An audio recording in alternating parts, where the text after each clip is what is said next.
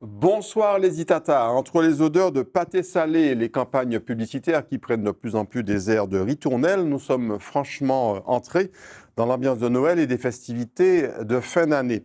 Pour mon invité du jour, pas besoin de fête pour rencontrer du monde. Très jeune, il s'est tourné vers les autres, tous les autres, au point d'être clairement aujourd'hui un citoyen du monde qui revendique sa triple identité martiniquaise, caribéenne et européenne. Il multiplie les initiatives citoyennes à la recherche d'un idéal que lui seul connaît. Bonsoir Laurent Cyprien. Bonsoir, bonsoir et bonsoir à tous les Itata. Citoyen du monde, c'est bien ça? Oui, citoyen du monde et avant tout de la Martinique. Hein, euh, euh, voilà, c'est mon île chérie euh, que j'aime bien définir comme étant comme étant belle avant que l'UNESCO ne nous le confirme. Ouais. Une île que vous quittez souvent, mais dans laquelle vous revenez tout le temps. Oui, oui, on, fait le tour du monde, mais on finit toujours par revenir euh, là où on se sent bien. Aujourd'hui, vous travaillez à la collectivité territoriale de Martinique. Quel est votre, votre métier en fait? Alors moi, à la base, je suis juriste expert immobilier, donc euh, spécialisé dans les questions de patrimoine, de, gestion de contrats, de choses comme ça. Et aujourd'hui, j'ai une mission dans le, dans le domaine de l'accompagnement des personnes handicapées, donc euh, sur la compensation du handicap et euh, les, tous les dispositifs que la collectivité met en place dans son volet social pour venir en aide à ces publics-là. Alors vous êtes encore très jeune, moins de 40 ans? 39. Mais vous avez, vous avez déjà, on va le voir, un parcours assez riche, même très riche. On commence d'abord par votre histoire personnelle, c'est Kimonoye.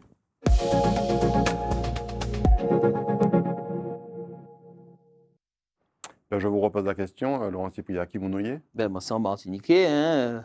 Quand tous ces gens qui j'ai ici, euh, en les plateaux là, c'est vraiment un plaisir d'être là. Euh, ben, je, suis, je suis un un mulâtre, un, jeune martiniquais euh, volontaire euh, qui a envie de faire bouger un petit peu les choses. Mmh. Et puis euh, voilà, ben, j'ai 39 ans aujourd'hui et j'essaye de, trouver un sens, d'apporter un sens un petit peu à, aux actions qui, se sont, qui ont été sur mon parcours et les gens que j'ai rencontrés. Mmh, c'est ça, je crois, l'essentiel. Mmh. Vous dites je suis un mulâtre. C'est ce sont des réflexions que vous avez pu entendre autour de vous euh, sur votre, euh, votre, votre teint, votre, votre appartenance, euh, votre race. Enfin voilà, c'est. Non, mon, mon teint, il n'y a, pas de race, on est tous des humains. Hmm. Mais non, non, mais bon, ça m'a jamais vraiment dérangé. Hein. J'embrasse cette identité-là sans aucun problème. Hmm. Bon, on, va, on va commencer par voir quelques photos de. Mais d'abord, pas, d'abord de, pas de vous d'abord, mais d'abord de vos parents qui se hmm. sont ben, une très belle photo de mariage. Mais oui. Claude, mon père, et Josiane, ma mère. Hmm. Voilà, euh, c'était. Ben, ben, évidemment, j'étais pas là. Hein, c'est en 1983, si je dis pas de bêtises. Et, euh, voilà. Et le, mon père est encore euh, parmi nous et le souvenir de ma mère ne l'est pas moins. Hmm. Voilà. Quel, quel, a été leur, leur parcours à, vos parents? Ah, mon père a fait, a, touché aussi à beaucoup beaucoup de choses. Hmm. Euh, donc diplômé euh, de l'école des cadres à Paris. Il a euh, ouvert une bijouterie, restaurant. il a fait du commerce, de la, de la location saisonnière. Enfin, un homme d'affaires. un homme mmh. d'affaires. Toutes sortes d'activités. ma mère était secrétaire, sa secrétaire d'ailleurs. autant dans la bijouterie et partenaire dans la, dans la restauration. Mmh. Et puis après, ils se sont mariés. Voilà. Et puis un peu plus d'un an après, il y a eu euh, ce, petit, ce petit jeune homme. C'est ça, c'est moi. Donc euh, une belle photo hein, que, que j'ai récupérée dans, dans l'album. Euh, ma mère aimait énormément prendre des, photos, il y en a plein. Ça, il n'y a, a, pas de problème là-dessus. Et je, on, plus, plus le temps passe, plus on en comprend la valeur parce que c'est la mémoire de choses dont on se souvient presque plus, quoi. Mhm. Donc euh, voilà, ma mère était passionnée de photographie. Euh, elle avait, elle avait, elle avait de, jolies passions. Euh, elle jouait du piano. Je, me souviens encore, j'en discutais avec mes sœurs de la lettre à Élise très souvent. Et euh, elle était cruci- cruciverbiste également, donc euh, passionnée de mots mots croisés. croisés Mots croisés, mots de- fléchés ou uniquement mots croisés? Tout, tout ce qui était Mhm. possible de faire. Elle n'a jamais fait de compétition, je crois, mais euh, elle aurait pu, sincèrement. Mhm. Sincèrement. Que- Quel souvenir vous gardez d'elle Forcément, elle est morte relativement jeune, on va dire. Ouais. À, à- à- à l'époque à laquelle on vit, on- on- beaucoup ont la chance de vivre plus longtemps. Euh, quel souvenir vous gardez d'elle?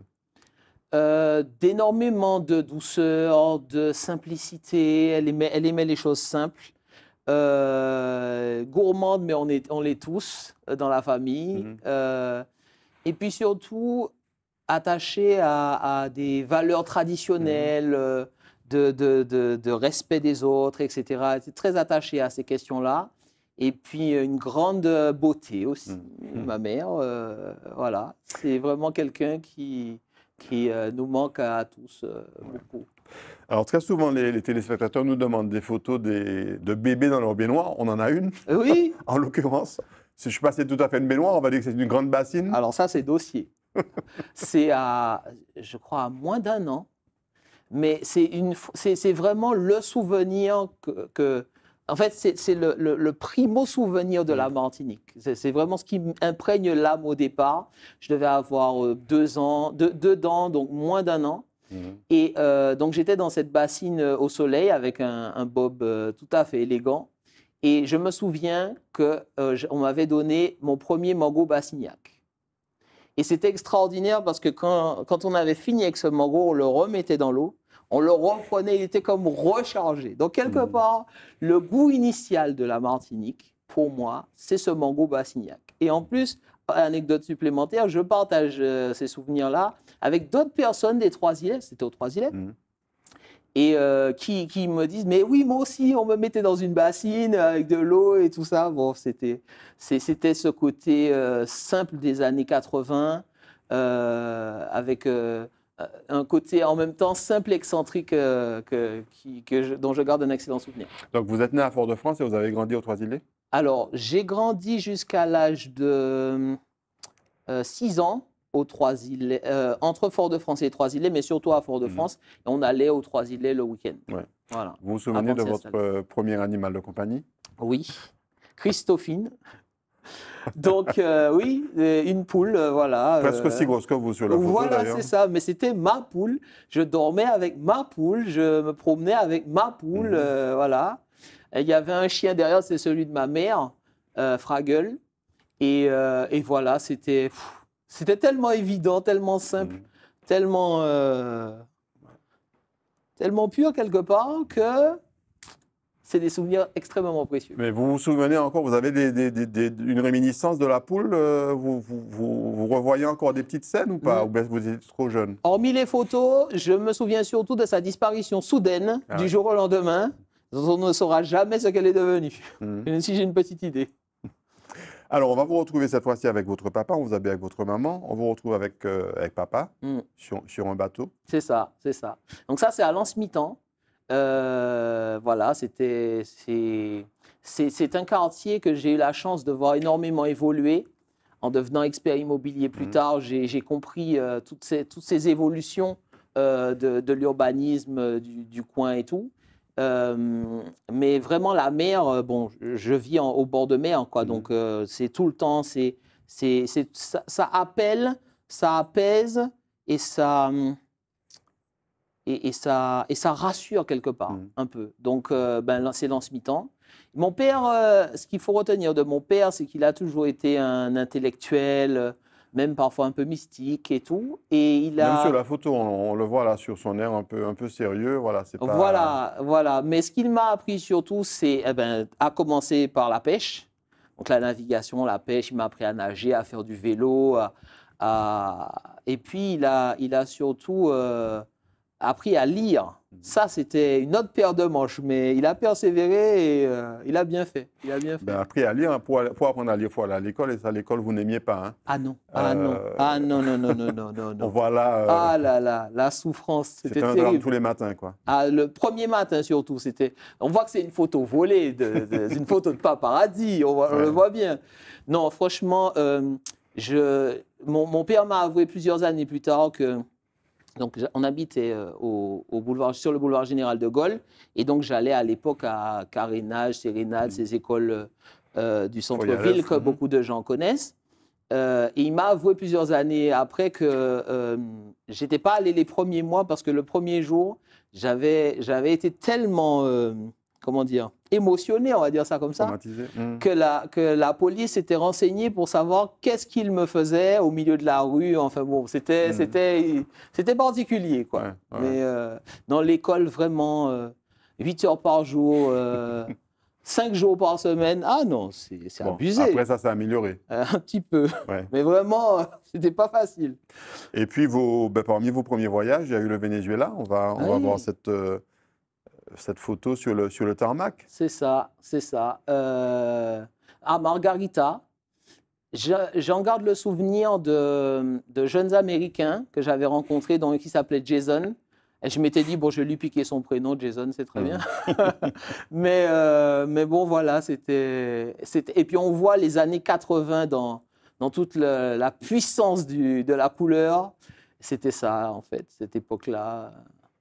Hmm. Super moment, super moment.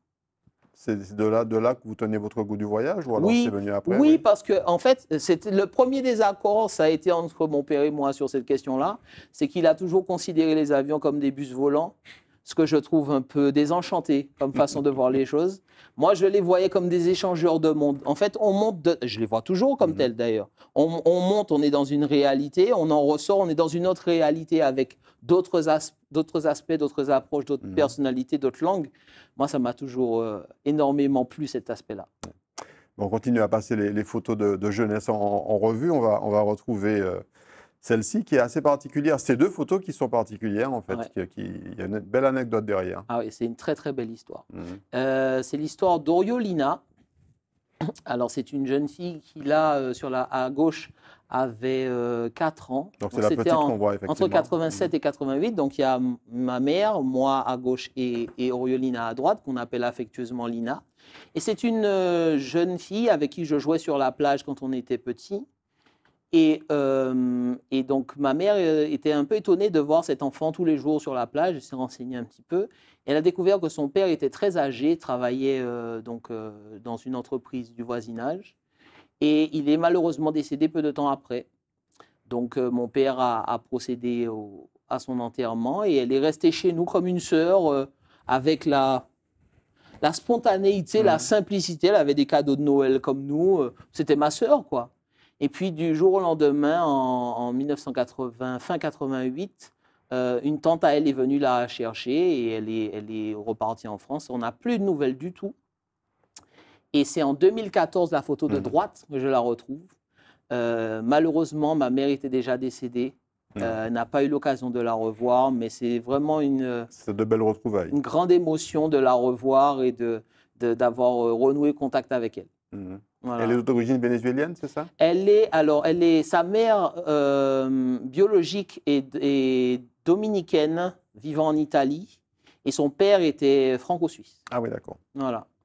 Très bien. Et donc, c'est une histoire, vous continuez, aujourd'hui à la voir et à avoir des contacts avec elle. Absolument, absolument. C'est une sœur retrouvée. Exact, exact. J'ai vécu quelque temps chez elle en, en Ardèche, dans un petit village d'Evance. Euh, et, nos échanges sont vraiment, sont vraiment très beaux parce que c'est des parcours qui se sont croisés mmh. furtivement. Elle m'a avoué m'avoir recherché aussi, mais elle me connaissait comme mon prénom. Moi, je ne connaissais pas son nom non plus, mmh. donc c'est pas évident de retrouver quelqu'un. Comment vous avez fait alors? Un coup de chance un jour sur les réseaux, j'ai tapé Oriolina, euh, c'est un nom, un prénom plutôt original, mmh. et puis entre temps elle s'était mariée, donc elle avait changé de nom, c'était très compliqué de la retrouver. Et quand on s'est revu là, c'est à Lyon, sur un quai de gare à Lyon, euh, c'était vraiment une belle, belle émotion qui se mmh. poursuit encore aujourd'hui. Alors, on va parler d'une de vos passions, euh, la musique et particulièrement le, le, saxophone. Alors, je pense que la photo de, de, gauche avec Sissi Percussion, c'était pas forcément un saxophone. Non, mais c'était ce qui avait, ça faisait très bien l'affaire. Les, les, musicaux, c'était professionnel, il n'y avait pas de problème là-dessus. Euh. c'était une trompette apparemment. Ah, c'était une espèce de clarinette, ou de trompette, mmh. plutôt clarinette. Euh, c'était en 89, si je ne dis pas de bêtises. Et c'était. Première euh, expérience, Noël 89. Ouais. Première expérience musicale. Ou il y en a eu d'autres Oh, avant il y en a eu d'autres avant, mais là, c'était en live and direct. Mm. C'était, sur les feux de, sur les feux de la rampe, là. Mm. C'était différent. Donc, euh, j'avais une fan, hein, ma maman qui a pris la photo, bien entendu. et, puis, euh, et puis, ce groupe qui, ben, qui a quand même marqué l'histoire musicale martiniquaise. Donc, c'est un honneur d'avoir euh, joué avec eux euh, euh, comme je pouvais. Avant, ensuite, Ouais. ouais, avant de m'intéresser vraiment au saxophone. C'est un instrument qui m'a... La très belle photo en, en noir et blanc. euh, donc le saxophone depuis quand? Depuis, alors euh, c'est ma mère qui m'avait offert mon premier saxophone en 2005. Et, euh, et depuis, je n'ai jamais arrêté. C'est un instrument dont le, dont le, dont le secret, en Mhm. fait, c'est de vibrer soi-même avant de le faire vibrer, en fait. Mhm. Euh, il faut vibrer intérieurement pour euh, transmettre quelque chose dans cet instrument. Et je l'ai toujours trouvé très beau. Et il me- il m'accompagne aujourd'hui euh, au point que je suis en train de mettre en place mon premier projet musical. Je vais Mhm. proposer quelque chose aux, aux Martiniquais. On verra si j'ai réussi à les convaincre.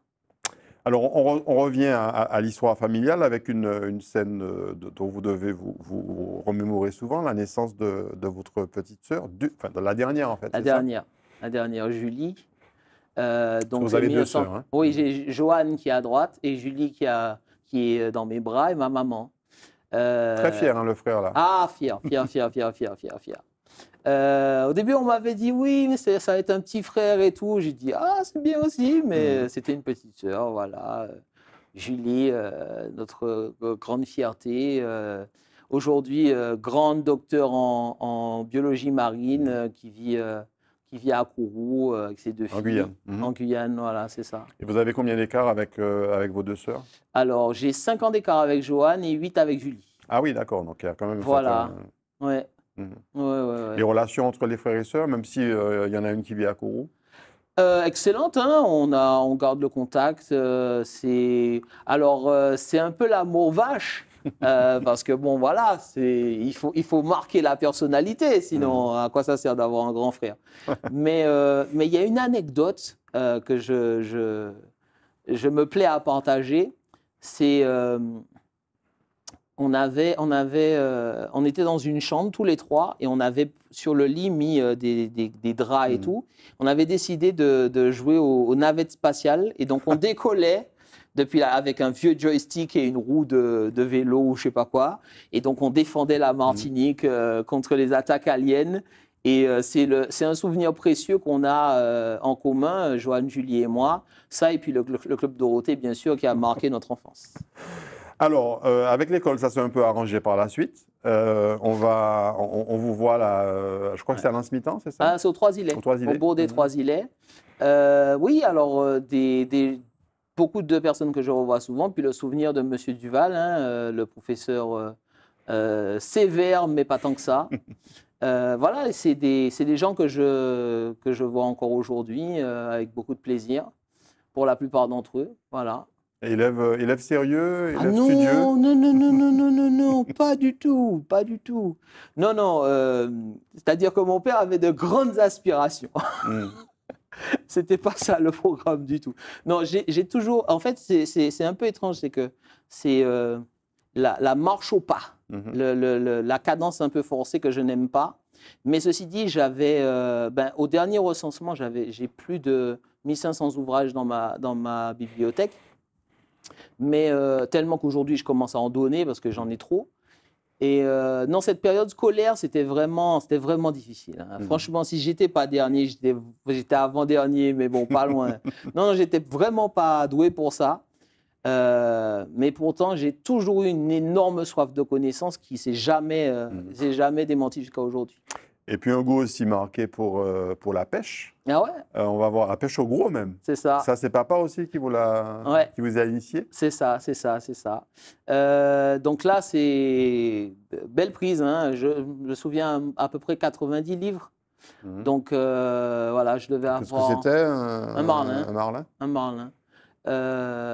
Voilà, qui a surpris tout le monde. Et moi, le premier. Donc j'étais j'étais plutôt content. Mhm. À 12 ans, c'est c'est pas mal.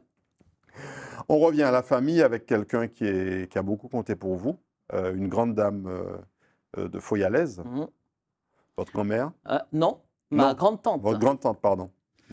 Tante Arsène, hein, euh, donc euh, pharmacienne euh, euh, diplômée pendant, pendant l'occupation, la guerre 39-45. Donc Arsène Lucrèce. hein. Arsène Lucrèce, oui, bien sûr, euh, qui nous a quittés à plus que centenaire et qui a vraiment euh, été un, un élément central de la famille Cypria, euh, Lucrèce et, et- et- et- et autres alliés. Euh, et puis, avec qui j'aimais énormément discuter, et quelqu'un de vraiment précieux. Qu'est-ce qu'elle vous a transmis? Qu'est-ce qu'elle vous a transmis? Alors, elle m'a, elle m'a transmis. La science un petit peu, sans doute? Le goût de la science? Euh, oui, un peu le goût de la science, Mm. mais je, je l'avais déjà, donc on aimait bien discuter de choses, euh, de choses scientifiques, ça c'était très sympathique. Euh, elle était passionnée d'astrologie également, Mm. ça peut, peut Ah ouais. un peu dichotomique, mais Mm. euh, non, non, pas du tout. Et elle avait, comment dire, elle, elle, elle, elle était, elle était la, la mémoire d'un passé que je n'avais pas connu et dont je voyais les Mm. conséquences. La En fait, postcoloniale. ce qu'elle m'a transmis, c'est sa mémoire, quelque part. Euh, et, et ça, ça a énormément de valeur. C'est comme ça que j'ai su les histoires de famille, Ouais. comment, pourquoi, etc. Euh, ces, ces choses-là euh, sont aussi précieuses pour se comprendre soi-même. Alors, histoire de famille, alors il y a de côté la famille Cypria. On va Mhm. voir cette photo de la famille Cypria élargie, c'est ce que Tout vous à disiez fait, tout à fait. Avec euh, mon oncle à droite qui nous a quittés Mhm. récemment. Ouais. Voilà. euh, donc, Donc, euh, ouais. Lui aussi pharmacien d'ailleurs, Alex Ah, Cypria. Tout à fait, tout à fait. Un 19 Qui a un pharmaciens autre dans la famille. commun avec vous, c'est le Parti progressiste martiniquais. Entre autres, entre autres, on y viendra, on y viendra. euh, en tout cas, de s'y engager. Mais on voit aussi euh, André Lucrèce Mhm. qui est là, que, que les spectateurs doivent reconnaître. Mhm. Et puis voilà, hein, ouais, ouais, ma sœur. grande famille. hein. Ah oui, grande famille. Donc, comme vous disiez au début, grande famille mulâtre de Fort-de-France C'est comme ça que vous dites? Oui, euh, j'ai pas de problème avec ça. Après, après euh, chacun voit comment il se positionne Mhm. par rapport à ça. Moi, j'ai aucun problème avec ça. Et de l'autre côté, l'autre famille, on va, on va voir quelques, quelques-uns de vos, vos cousins, cousines. euh, C'est ça, c'est les, vraiment la, la famille proche. Alors, euh, il y a, C'est les Chalonneaux. Hein. C'est les Chalonneaux, voilà. Il y a une, euh, il y a une photo que malheureusement je n'ai pas retrouvée avec beau- beaucoup plus de monde, mais j'ai gardé celle-là parce qu'elle est vraiment, elle est vraiment le souvenir de, complicité précieuse. Voyez-vous? C'est euh, donc Sarah à gauche, euh, une cousine euh, qui est élevée comme une sœur aussi, et puis Miguel qui, est, qui est un cousin comme un frère, et puis en, en dessous, juste en bas de moi, en dessous de moi, il y a Julie et à côté Joanne. Mhm. Voilà. C'est les proches. Alors, on accélère parce que la partie, effectivement, kimonoï est, est- est assez longue. Là, on va parler un petit peu de- ben, de- de- d'une forme d'engagement, un, engagement- un choix personnel qui est celui de, de l'Église, euh, sur la photo suivante qui va, qui va arriver. Ah non, c'est pas celle-ci, ça c'est une autre photo, effectivement. Je crois que ce sont des. des- C'est pas loin d'être la famille aussi, quelque. Oui, c'est une famille retrouvée aussi. Donc euh, Françoise, euh, qui est euh, la fille de mon, de mon grand-père, Mhm. de son deuxième mariage, et avec ses enfants et ses petits-enfants et tout. Euh, c'est en faisant quelques recherches Mhm. généalogiques que je me suis dit, ah tiens, mais il y a quelqu'un et tout. Mhm. Et puis, euh, elle, me, elle me connaissait bien mieux que je ne la connaissais moi-même. Mhm. Donc, euh, on, a, on a échangé, on a passé des bons moments. Là, c'est chez elle en France. Et puis, et puis j'ai eu plaisir à, à la revoir. Et, et je sais qu'on on, on a quelque part un lien aussi.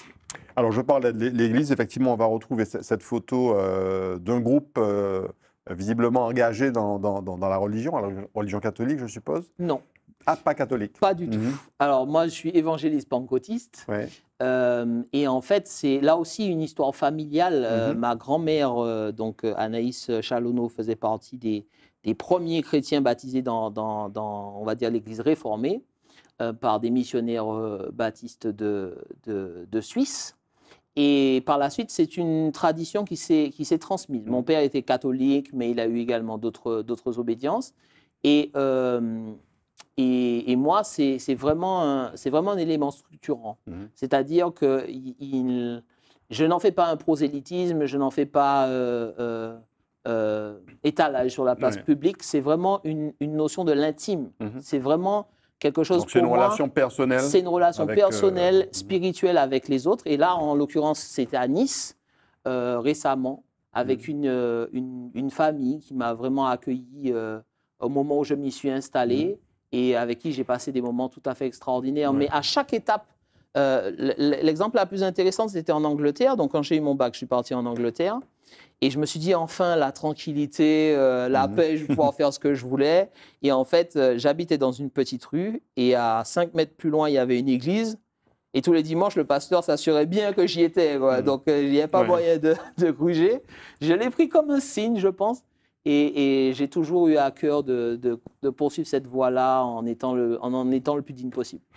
Alors, une des caractéristiques de, de votre, de votre parcours, c'est, euh, euh, ce sont les rencontres, je le disais au, tout début, et euh, les rencontres, et puis aussi, le, le- je dirais, les choix de, de, de, voyages et de, et de sites souvent assez, assez, assez magnifiques. Mm. Euh, ce, ce goût pour, à la fois pour le, pour le voyage et qui forme la jeunesse, hein, c'est ce qu'on dit, et ce qu'on puis dit. également pour les, pour les rencontres, il vous vient d'où? Là, on voit une marina, la, la- la montagne, la neige, l'Asie, Mm. l'Europe. C'est ça. En l'occurrence, quand j'étais quand j'étais plus jeune, euh, je- j'avais plus à cœur de découvrir le monde à travers des livres. Mm. Donc, euh, je- j'ai toujours tous les domaines du savoir m'intéressent. Vraiment, il n'y a aucun domaine en particulier où je Ouais. me dis ah non c'est pas mon délire. Non Mhm. non, vraiment tous ces aspects m'intéressent. Mais aujourd'hui, j'ai de j'ai à cœur de moins lire et de davantage Mhm. rencontrer les gens, de connecter. Avant, il y avait cette tradition un peu perdue, mais qui, qui, qui gagnerait à être euh, réinstituée, c'est d'avoir des correspondants. Oui, ouais, ouais. Voilà. Aujourd'hui, par exemple, pour comprendre le monde, dans, et surtout particulièrement aux médias, pour comprendre le monde euh, et, et naviguer à travers les fake news, les Mhm. fausses infos, les propagandes diverses et variées, j'ai vraiment envie d'avoir des correspondants fiables, Ouais. des gens à qui je On peux va dire le voir d'ailleurs sur les photos suivantes. Vous, avez rencontré des gens de partout. On parle là des Asiatiques. Sur la photo suivante, euh, on, est, on est sur euh, ben, encore des Asiatiques. mais- Jean-Claude Moaka, Abdel Malik et, et surtout Lise. Alors Lise et son, son mari, c'est c'est vraiment une histoire particulière. Euh, c'est une, une immigrée clandestine qui est arrivée du Venezuela en Martinique un beau jour et chez nous Mhm. et qu'on a hébergé euh, naturellement, qu'on a aidé dans ses démarches et tout. Et, euh, et quelques années après, elle s'est mariée, elle est partie vivre en France. Euh, et j'ai été son témoin de mariage. Et ça a été une rencontre vraiment en- très enrichissante. Mhm. Elle parlait très très peu de français, quelques mots de français. Elle avait vécu une histoire rocambolesque de Ouais. bateau en bateau en partant de, de Boca del Toro euh, au Venezuela jusqu'à ce qu'elle arrive euh, bah, chez nous en Martinique. Et elle est restée euh, deux ans chez nous et avant de repartir, de reprendre son chemin. Et, et c'est vraiment quelqu'un qui nous a vraiment marqué. Lise.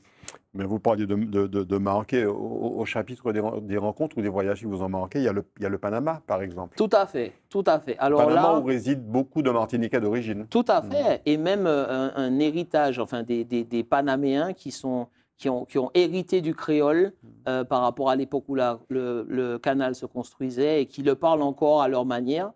Euh, c'est un- c'est une vraie richesse. Donc euh, là, je suis avec Gisèle De Leon et son mari, qui sont, à mon avis, les futurs présidents du Panama. Ah bon Ah oui, oui, aucun doute C'est une prédiction ou, Ah, ou une certitude Ah, quasi certitude. Pas, Mhm. pas prédiction, mais quasi certitude. Ouais. Non, c'était vraiment, ah, c'était euh, avant tout une mission professionnelle. Mhm. À l'époque où j'étais, euh, j'étais chargé de mission à la coopération internationale, où là on, on- on préparait un sommet de, de la de l'association des États Mhm. de la Caraïbe, euh, qui a qui a été extrêmement important cette période-là.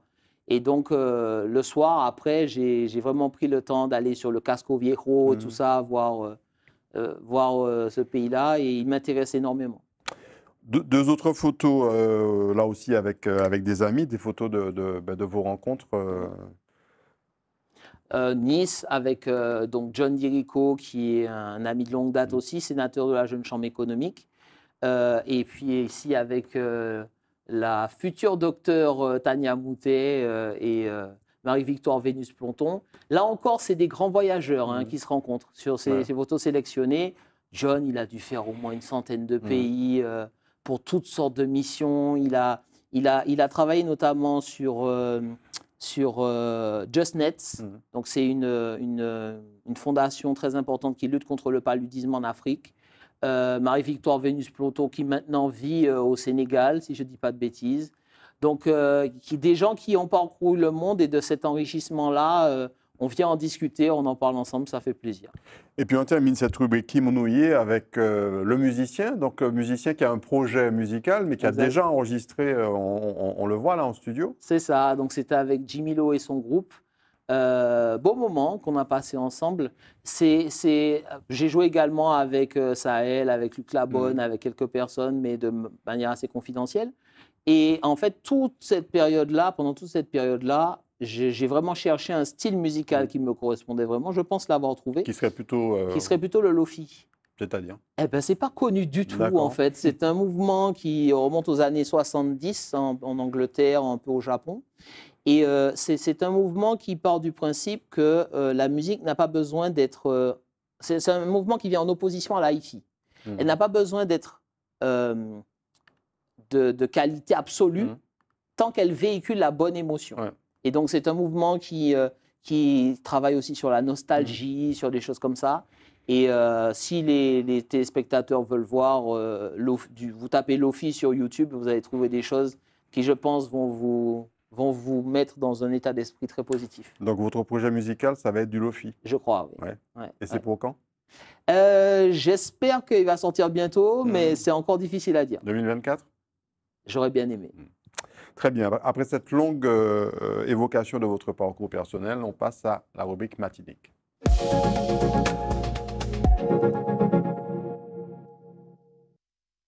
Alors on va le voir, hein, donc là on parle traditionnellement de la- l'activité professionnelle, du parcours professionnel, mais ça s'imbrique beaucoup avec vos engagements aussi, on va, on, va le voir, on commence avec, euh, donc on va commencer avec cette photo, euh, euh, Laurent, que je vais vous laisser commenter, ça, ça remonte aux études, ça. Ouais.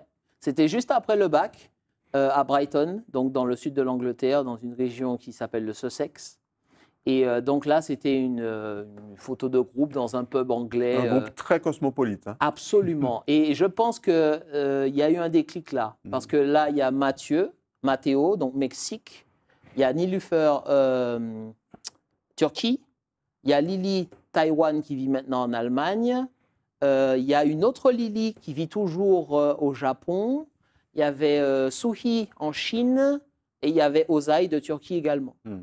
Et en fait, euh, pendant cette période-là, donc j'étais dans une école euh, privée, donc, euh, dont je suis revenu diplômé de l'université de Cambridge. J'ai quand même un peu bossé entre les pubs, faut pas exagérer. Et ce que j'ai, hum, ça m'a vraiment marqué parce qu'il y avait extrêmement peu de Français. Ouais. Et donc, c'était vraiment le- le- le- l'exercice pratique de tout ce qu'on a lu sur la Mhm. culture des autres, euh, sur la nécessaire ouverture, et puis surtout le fait que ben, on partageait tous la même galère. Il fallait parler anglais, euh, qu'on veuille ou qu'on veuille pas. Fallait, fallait travailler dans cette dynamique-là tous ensemble.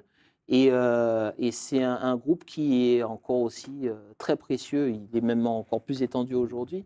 Mais c'est des gens qui m'ont vraiment marqué par justement le, le- le- leur fierté d'être, de, de leur nationalité, de leur identité Mhm. propre, euh, tout en étant ouvert à celle des autres. À leur contact, j'ai beaucoup grandi. Si je vous dis PME 11, Ça, c'était en école de commerce à Paris. Euh, donc, euh, Advancia, école de la Chambre de commerce de Paris, euh, avec des gens aussi plus homogènes, Mhm. si je puis dire, mais en même temps, en même temps c'était également une expérience. hein, je faisais partie du, du BDE à l'époque. Donc, bureau des euh, étudiants voilà, ouais, donc forcément euh, pas de diplôme. Mais en fait, c'est un peu ça, c'est-à-dire que école pas terrible, Angleterre, ça marche, euh, commerce à Paris, on va Mhm. dire que je pétais plus des bombes qu'autre chose. C'est pas du terrorisme, hein, Ouais. c'est juste que c'est une expression pour dire Fait que quand même, bombe. on, Mhm. on- ah, on s'amusait, on Mhm. s'amusait beaucoup à cette époque-là. Et, euh, et le souvenir en reste encore. Et je croise encore, euh, à- quand je viens à Paris, des, des gens euh, Mhm. qui sont sur cette photo et avec qui je suis encore en contact. Et vous avez aussi croisé une grande école de, de gastronomie et, et, de, et de cuisine, le nôtre? C'est ça. En fait, j'avais envie de, de confronter un petit peu ce que nous on fait ici, j'ai toujours été euh, passionné de Mm. cuisine, hein, ça se voit. Ah bon Ouais, ouais, ouais. Et, euh, et donc voilà, j'avais envie de, de, de- de structurer un petit peu tout ça et puis de, voir un petit peu qu'est-ce que ça pouvait donner euh, la rencontre des Mm. deux. Et euh, ouais, j'ai bien aimé Donc plutôt de la pâtisserie? aller chez le nôtre. Non, Non? tout cuisine et Ouais. pâtisserie. Ah Ouais. ouais. Ah ouais. Et, et jusqu'à aujourd'hui, c'est moi, moi qu'on attend là pour les fêtes à venir. Ça, c'est sûr. Très bien, on prend note. Et puis il y a eu cette, euh, ben, cette première expérience de, de création d'entreprise, euh, un beau logo, une- un beau nom, euh, signature, mais qui ne fait pas forcément penser à. L'immobilier. Mhm. Oui, en fait, euh, mon, mon- mon père a fait un AVC euh, quelque temps avant, avant que je n'ai mon diplôme, donc un master de droit spécialisé en immobilier de l'ICH. Je salue d'ailleurs les confrères et les consoeurs. Et, euh, et donc, j'ai- j'ai j'ai- j'ai repris son cabinet, j'y ai changé, j'ai changé la- le, le- le logo, mais en réalité, j'ai surtout euh, essayé de voir comment on pouvait améliorer un petit peu les choses. Euh, surtout qu'il était surtout spécialisé dans la, dans la rénovation Mhm. immobilière. Et moi, plus dans l'expertise, dans l'évaluation, dans le conseil juridique euh, Qu'est-ce qui vous a conduit à, à l'expertise immobilière?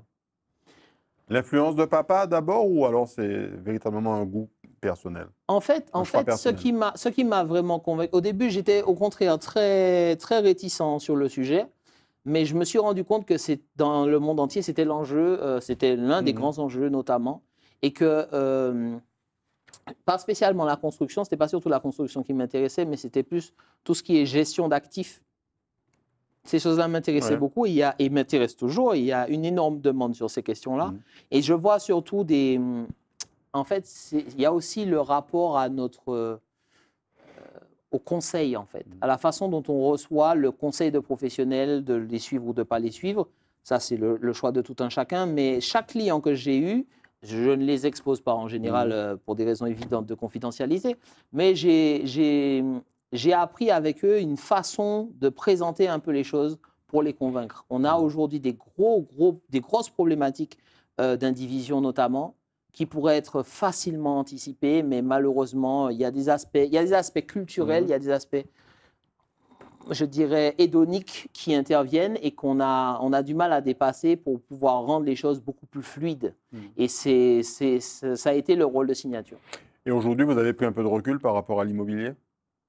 Non, parce que en fait, l'immobilier, c'est tout le temps partout. Il Mhm. faut habiter quelque part, il faut, il faut vivre quelque part, il faut gérer du patrimoine quand on en a. Oui, mais comme vous avez une activité à la CTM aujourd'hui, Oui, alors légalement, je- le, le cabinet est, est- est clos en ce moment. Mais euh, si jamais un jour, je ne sais pas pour quelle raison, Mhm. euh, on me dirait bon ben la mission est terminée, ben, à ce moment-là, je reviendrai à mon cabinet. Mhm. C'est un peu euh, du pantouflage malgré soi, quelque part. Alors une expérience, je suppose, très, très constructrice aussi, euh, la jeune chambre économique. Mm. Oui, là c'était le, c'est la photo du dernier, de l'avant-dernier congrès des West Indies. Euh, donc là encore, c'était vraiment cette, la, la richesse de, de, de la jeune chambre économique, c'est la poupée russe. Et je dois dire que j'ai beaucoup pris pour euh, le FTJM, c'est que euh, y a, le, y a la- le premier échelon qui est local, c'est-à-dire s'organiser avec des Martiniquais pour faire quelque chose. C'est pas seulement pour le plaisir de se voir, Mhm. c'est avec des objectifs concrets, avec des C'est pas une confrérie, quoi. Il y a, un une véritable- il y a- il y a de vrais projets derrière, Voilà. un vrai projet derrière. plusieurs Mhm. par an. Chaque année, ça change. Euh, Le, le président euh, ne peut pas s'installer parce que c'est à chaque année, il change, Mhm. etc., etc. Donc il y a, il y a une, il y a des principes et il y a une dynamique qui m'a plu. Et puis ensuite, il y a l'échelon euh, national et puis l'échelon international, qui est objectivement celui qui m'a plu le plus. C'était à Leipzig en 2016-2017, Mhm. euh, où là, par contre, on mesure la, la, la- l'aspect global. Ouais. Comme- comment une idée peut créer quelque- un mouvement à l'échelle globale avec plus de, plus de 300 000 membres Ouais. dans le monde? Mhm. Donc à ce moment-là, euh, on prend son téléphone euh, dans n'importe quel pays du monde, on peut tomber sur un, un membre, de- un membre ou un ancien membre de la jeune chambre euh, avec qui on peut vraiment discuter, quel que soit le Mhm. pays dans lequel on se trouve. L'idée de, de la conférence TEDx euh, ou des conférences TEDx, ça vous est venu de, de la jeune chambre? Tout à fait. C'était euh, Jessie Xavier, le président de la Guyane, qui avait fait ça en premier. Journaliste. Journaliste, tout à fait. Et, et en fait, ce qui m'a. il a présenté ses résultats et je me suis dit, mais c'est fou, on peut faire ça. Hmm.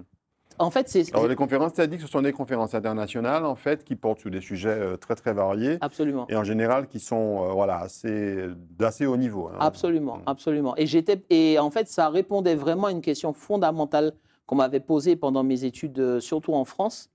Euh, depuis On va ces- voir d'ailleurs la, la liste de tous les intervenants sur, euh, sur, sur les, les photos suivantes. C'est ça. En fait, depuis Césaire, depuis Glissant, depuis Fanon, qu'est-ce que la Martinique produit comme idée nouvelle? Hmm. Et j'avoue qu'à part donner une galerie de portraits, j'avais un peu de mal à, véritablement répondre à cette question. TEDx Fort-de-France, c'est c'est la réponse à cette question. Donc il y a tous ceux qui ont participé, hein, très très fiers de cette équipe, vraiment. euh, euh, et en plus, tous bénévolement, ça fait partie du, jeu. Euh, et des personnalités qu'on croise dans les médias de toutes les façons très très régulièrement. Mais TEDx, vraiment une grande fierté. Et c'est vrai que depuis 2016, ça nous manque. Moi-même, en tant qu'organisateur, euh, cette dynamique-là, elle me manque un peu. Et euh, donc, Quelles étaient les, thématiques de, de ces, de ces conférences? Alors, la première, c'était Petite île, grandes idées. Mhm. Euh, beau succès. Et euh, c'était au Grand Carbet. Et euh, Idée volcanique en 2016 à Madiana.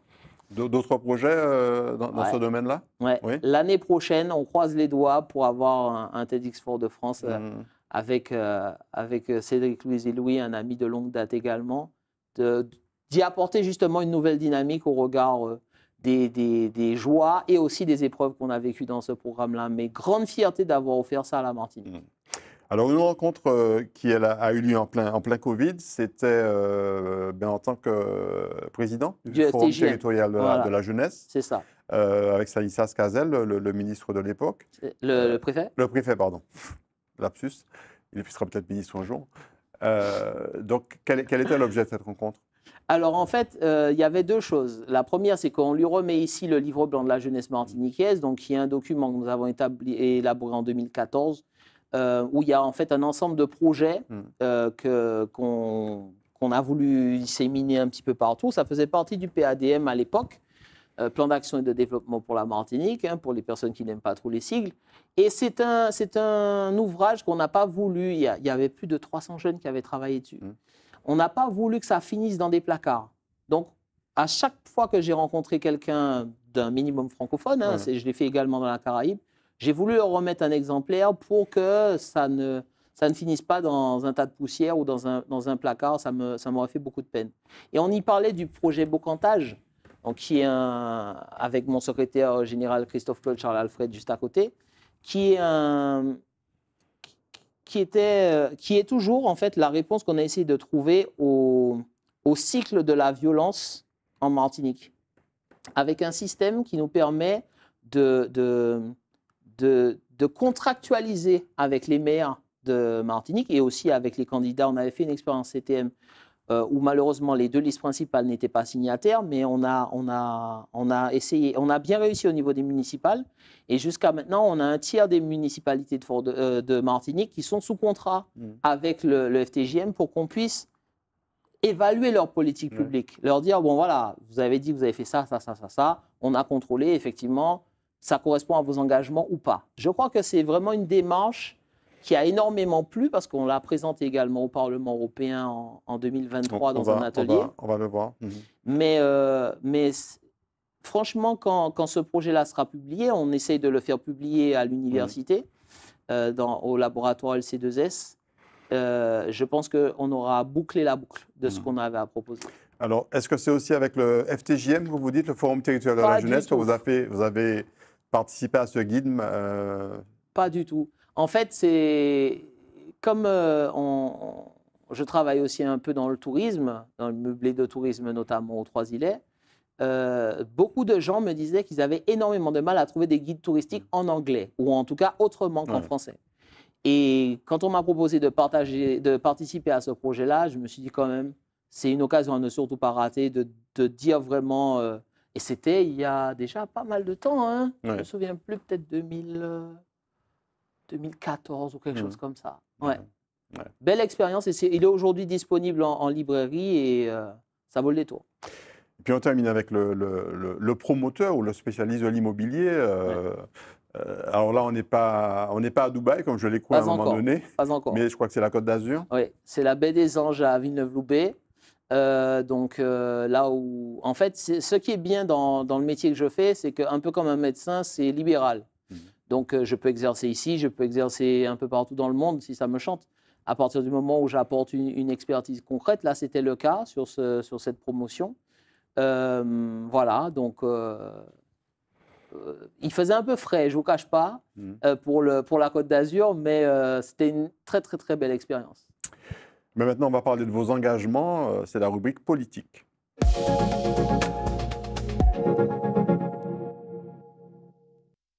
Alors, vos engagements, vos autres engagements, parce qu'on en a déjà découvert un, un certain nombre.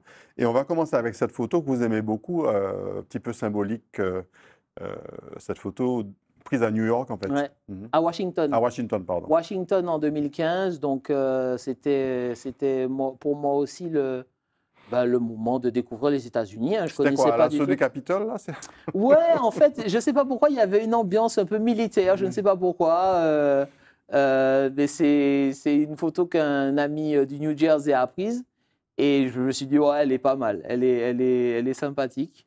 Et on s'amusait beaucoup euh, pendant cette période-là. C'était vraiment euh, au début, c'était- ben, on était, on était parti avec la Norwegian Airlines, comme beaucoup de Mhm. Martiniquais. Ouais. Je garde le souvenir d'une soirée du 31 euh, sur la rivière Hudson.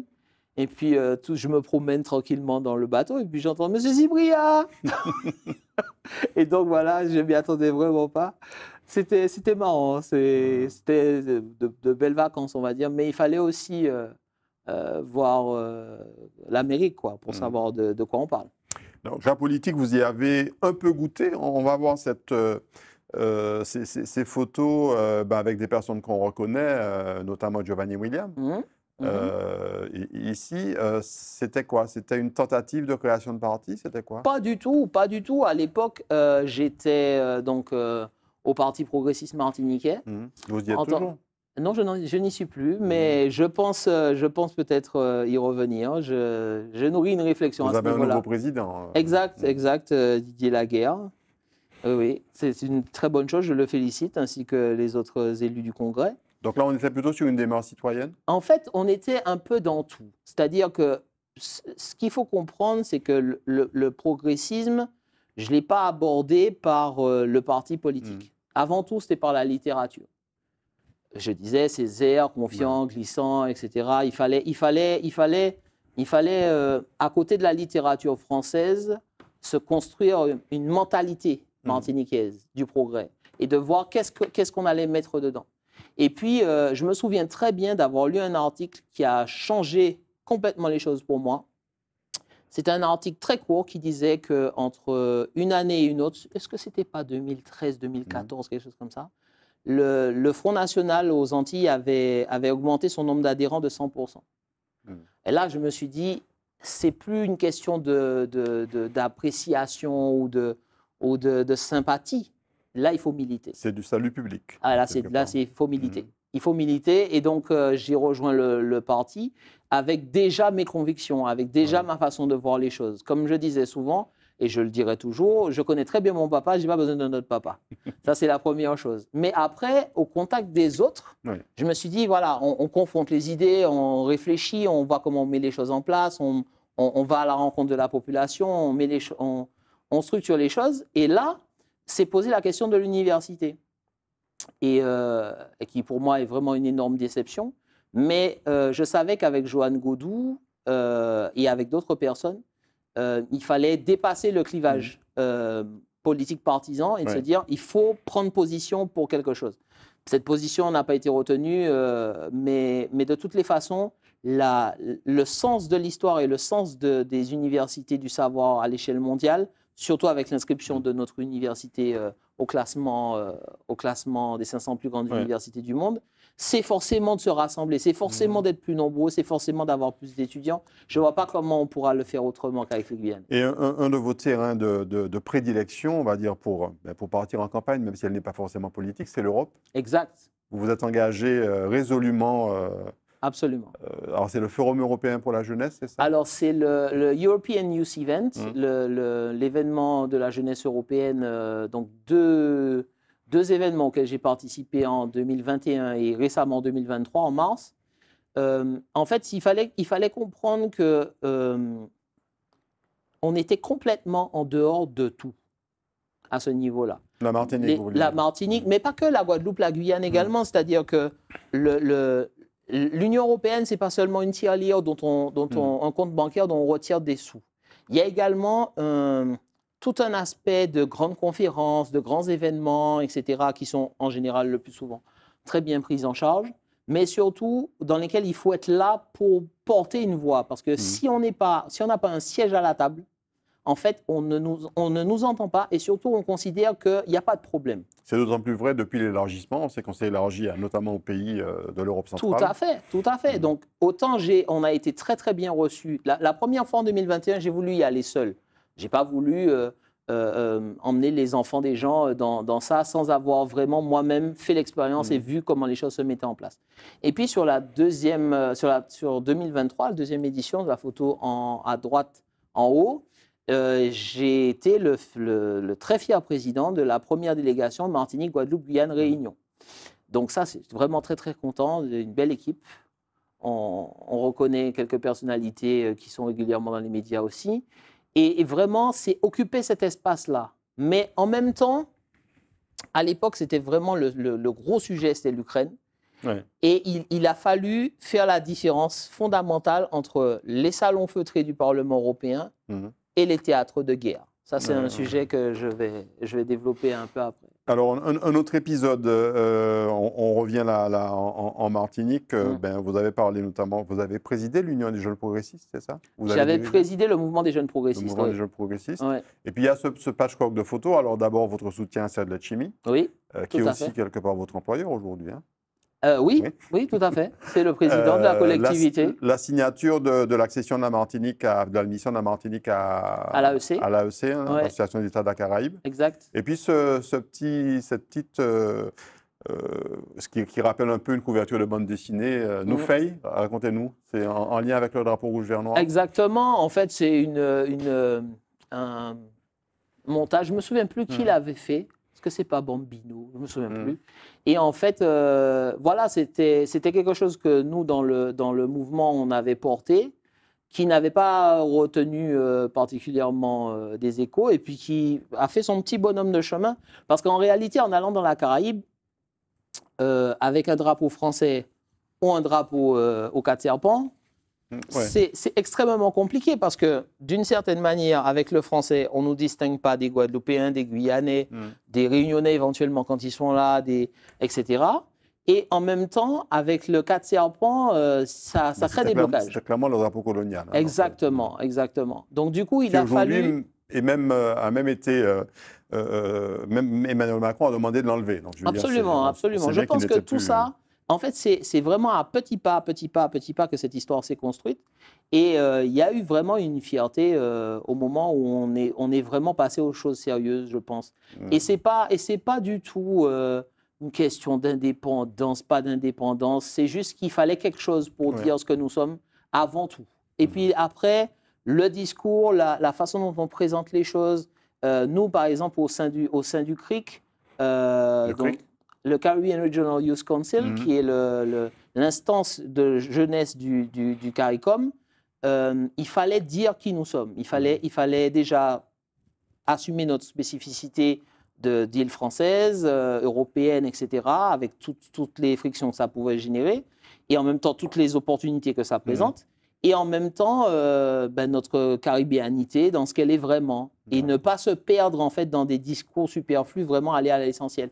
Et je pense que le drapeau, c'est l'essentiel. Il nous reste quatre photos pour terminer. Alors, on, on- on va d'abord voir celle-ci qui est. euh, Ouais. C'est la qui- délégation. Qui, qui nous ramène à, à- à Bruxelles, c'est ça? C'est euh, Euh, c'est à Strasbourg. Strasbourg, pardon. à Strasbourg. Mhm. Donc c'était la délégation au complet, donc euh, Guadeloupe, Martinique, Guyane, Réunion. Et j'ai vraiment à cœur que dans les futurs événements, on, parce qu'on n'était pas là pour parader, hein, Mhm. loin de là, on, j'ai fait, on, on a fait un, un atelier sur le bocantage Ouais. et qui a inspiré autant, aussi bien l'Espagne, l'Estonie, euh, Mhm. l'Italie, les Allemands qui étaient présents, parce que c'est quelque chose qu'on a expérimenté chez nous et qu'on leur propose à eux Mhm. après, après avoir vraiment euh, euh, essuyé les plâtres et fourni des résultats. Et Ouais. ça, c'est une bonne manière de participer à ce genre d'événement. La photo suivante, euh, qui est en fait. euh, alors, j'ai- souhaité qu'on mette ces deux, ces deux photos en parallèle parce qu'on n'est pas du tout sur le même registre. D'un côté, Christiane Taubira, euh, dont on connaît le parcours et dont certains parlent, euh, en tout cas souhaitent la, la candidature à la, à la prochaine présidence de la République. Et puis Kémy Seba, panafricaniste, euh, quelqu'un d'assez controversé, on va dire. Clairement. Euh, vous avez voulu poser auprès des deux, mais sans doute pas pour les mêmes raisons. Ah si, si, si, Mhm. si. C'est des, c'est des maîtres en punchline, les deux. Mhm. Euh, Christiane Taubira, donc, que j'ai revu récemment lors de son passage en Martinique. Euh, il faut pas, il toute personne qui se fierait à sa taille ferait une grossière erreur. Ouais. Euh, elle, a, elle a des phrases extrêmement acérées. euh, je, je confirme. La- son, avoir son la chance discours, de la connaître très bien. son discours est brillant et dans son discours, elle dit que vous pouvez toujours vous gratter pour qu'elle aille aux élections européennes, donc euh, aux élections nationales, donc ce sera non. Ouais. Elle a déjà dit non, elle l'a elle redit encore une fois. Mhm. Si elle se dédie, c'est, c'est, ça me donnerait un doute sur sa personnalité. Et Kémy, Seba? Kémy Seba, euh, pour moi, pour moi euh, la, la question panafricaine, c'était surtout la question de comment nous sommes vus par Mhm. les Africains, nous entiers. D'ailleurs, j'ai- j'avais fait une, une lettre ouverte euh, dans le France Antilles il y a quelques années, lorsqu'il y a eu la création de l'État africain de la diaspora. Et à l'époque, je m'étais demandé si pour euh, les Africains, euh, euh, je ne sais pas, qu'est-ce que nous pouvions être pour eux, euh, Mhm. à part euh, des gens du loin euh, ou, des, ou des, des, des naïfs pour, euh, pour Pasteur Escroc, quoi. En gros, c'est triste à dire, Il mais... n'est pas, très souriant, là, hein, Kémy Seba, sur la Non, photo, mais Kémy hein. Seba est rarement souriant. Je vous mets au défi de trouver une photo de lui en train de rigoler.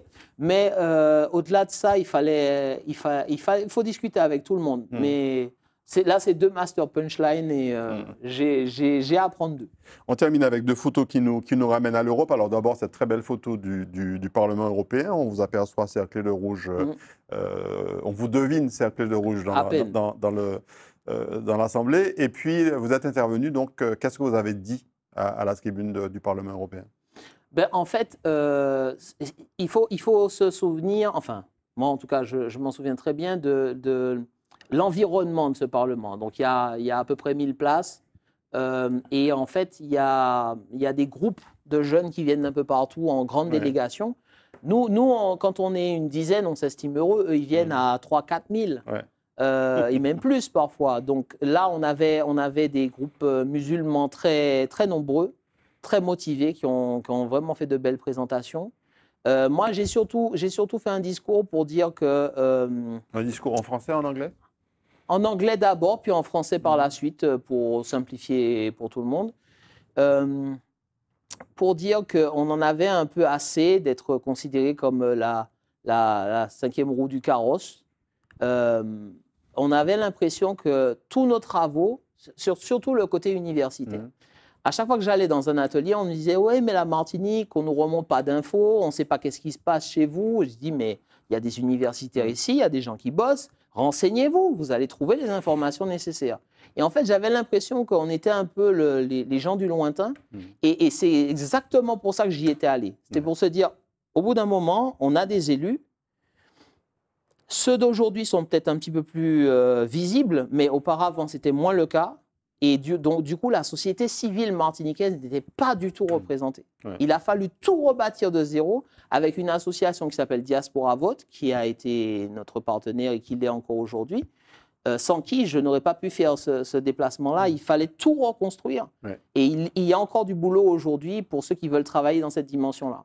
On termine avec une photo euh, que vous avez voulu euh, commenter, une photo qui est un petit peu symbolique de l'actualité depuis un an et demi, hein, Mhm. en l'occurrence l'invasion de l'Ukraine par, par la Russie, et cette, euh, cette jeune Ukrainienne que vous avez rencontrée. Mhm.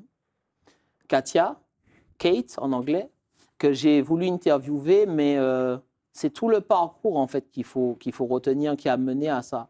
En fait, euh, il y avait vraiment cette dichotomie entre le Parlement qui se demandait tout le temps euh, qu'est-ce qu'on va faire, qu'est-ce qu'on va mettre en place, combien de millions on va envoyer, et un peu un, un espace inconnu, Mm. une dynamique dans laquelle notre génération n'a pas été confrontée directement, ou en tout cas de, de très loin. Euh, il, a il, me fallait aborder ces deux aspects-là concrètement. Donc c'est pour ça que j'ai décidé de partir en Ukraine en, en, juillet cette année et donc de, de, voir les choses par moi-même, d'interroger les gens, de savoir de quoi ils ont besoin, qu'est-ce qu'ils veulent exactement, comment ils perçoivent les choses, et moi-même aussi me, me, me, me, confronter aux choses. Alors, pas en bouc fou, euh, donc j'étais dans une Même si Katia a, échappé de peu à, la mort récemment. Exact, exact. Euh, elle, a, elle, euh, elle est originaire d'Odessa. Et elle était, elle était retournée il n'y a pas longtemps et on a vu dans les médias un bombardement qui a touché le, le, musée des beaux-arts d'Odessa où elle travaillait. Heureusement, elle n'a pas été, elle n'a pas mm. été euh, touchée. Mais ça donne un, caractère extrêmement prégnant, mm. ça donne une, réalité très concrète aux choses. Même mm. si l'actualité vient balayer de ci, de là euh, les, sujets d'importance ou en tout cas les, les, breaking news, mais par contre, le, de l'avoir vécu, d'y être allé, comme je dis souvent, euh, aller en Ukraine, c'est pas c'est pas Eddie Bottom, hein, c'est pas aller au Club Med. Il hein. faut passer par l'Ukraine, la Roumanie, faut, c'est extrêmement compliqué. Et j'ai voulu l'interviewer et vous pouvez retrouver son interview sur euh, ma chaîne YouTube. Mais c'est quelqu'un euh, qui m'a énormément inspiré. Laurent Cyprien, je le disais au début, vous seul savez l'idéal après lequel vous courez. Mmh on peut en savoir euh, un peu plus? Oui, aujourd'hui, aujourd'hui à 39 bah, ans, il est un peu temps de faire un bilan de mi-parcours. Euh, j'ai, je pense vraiment avoir à cœur de faire quelque chose et de, et de, et de pousser les lignes, en fait, de repousser les lignes du mieux que je peux avec ceux qui ont envie de, travailler avec moi. Euh, là, je prépare ben, une émission de télé que mmh. j'aurais bien aimé voir euh, apparaître. J'espère que peut-être Zitata, hein, qui mm. sait, ou notre télé, je ne sais pas. Euh, des conférences, des choses comme ça. Mais tout ça, c'est le visible. En réalité, ce qu'il faut, c'est vraiment impulser les choses.